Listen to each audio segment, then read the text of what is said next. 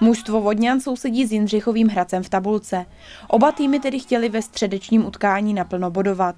Nakonec se to ale podařilo hostům a z města nad Vajgarem si odvezli tři body za nejtěsnější výsledek 0-1. Jsme z toho docela zklamáni, protože jsme věřili v to, že už se konečně chytíme a začneme stoupat tabulkou vzhůru, ale bohužel touto prohrou jsme zůstali v zadních pozicích. Jindřichův Hradec musí v dalších zápasech bezpodmínečně bodovat, aby v jarní části letošního kola krajského přeboru nemusel hrát o udržení v soutěži.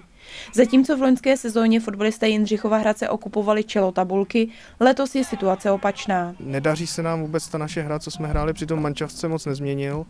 V podstatě nám tady všichni hráči zůstali, odešel akorát skončil Petr Hale, nevím, jestli ten tak výrazně by bylo znát toto oslabení, ale zatím se nám vůbec nedaří ta naše hra, kterou jsme předváděli na jaře s kterou jsme v podstatě uspěli a uhráli páté místo. Zatím eh, nehrajeme do kombinace, chybí nám pohyb. Velkým problémem je pro hráče i zakončení. V trénincích se nyní zaměří především na zlepšení formy, tak aby konečně protrali herní smůlu a bodovali.